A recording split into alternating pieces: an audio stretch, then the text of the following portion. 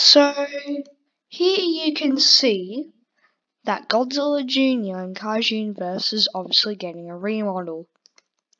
And here you can see a slash move and an atomic breath move. So this indicates that obviously Junior is getting a remodel and it looks very cool. So I recommend you guys um looking at the Prometeo Games YouTube channel um once every day and we'll look out for more teasers.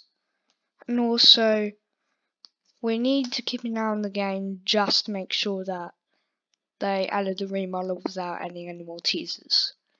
Anyway, I I hope I'll see you guys soon. Bye.